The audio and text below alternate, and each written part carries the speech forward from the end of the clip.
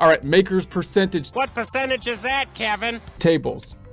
You can use this percentage tables in table 2.2 to compare annual depreciation under MACRS. The tables show the percentages for the first few years or until the change to the straight line method is made.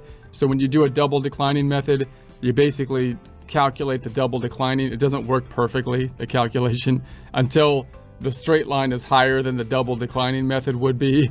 And then you split, switch over to straight line, and then you kind of fudge the last year to make it to make it work because it's kind of a it's kind of a not the most precise, elegant uh, calculation of a method, but it works. It works. So see Appendix A of Publication 946 for complete tables. So the percentages in Table 2-2A, 2-2B, and 2-2C make the change from using the DB method to the straight line method in the first tax year that the use of the straight line method gives you an equal or greater deduction than the use of the DB method.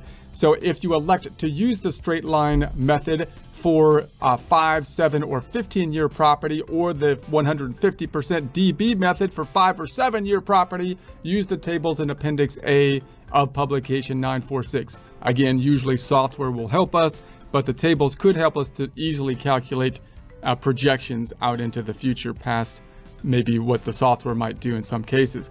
So how to use the percentage tables. You must apply the table rates to your property's uh, unadjusted basis defined later each year of the recovery period. So once you begin using a percentage table, you figure depreciation, you must continue to use it for the entire recovery period unless there is an adjustment to the basis of your property for a reason other than uh, two, depreciation allowed or allowable or an addition or improvement uh, that is depreciable uh, as a separate item of property. Okay, if there is an adjust an adjustment for any reason other than one or two, for example, because of a uh, deductible casualty loss, you can you can no longer use the table for the year of the adjustment and for the remaining recovery period, figure depreciation using the property's adjusted basis at the end of the year and the appropriate depreciation method as explained earlier under figuring your depreciation deduction. All right, uh, unadjusted basis.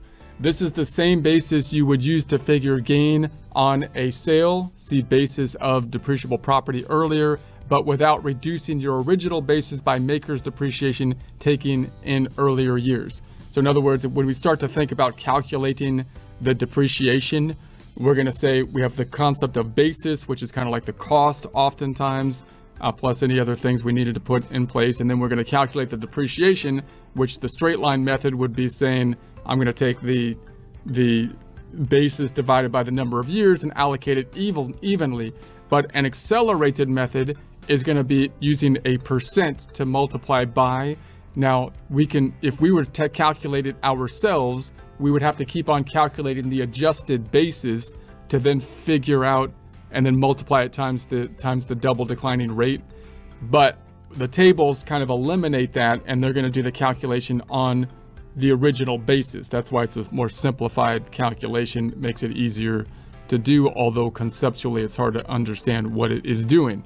So however, you do reduce your original basis by other amounts claimed on the property, including any amortization, any Section 179 deduction, any special depreciation allowance. For more information, you can see Chapter 4 Publication 946.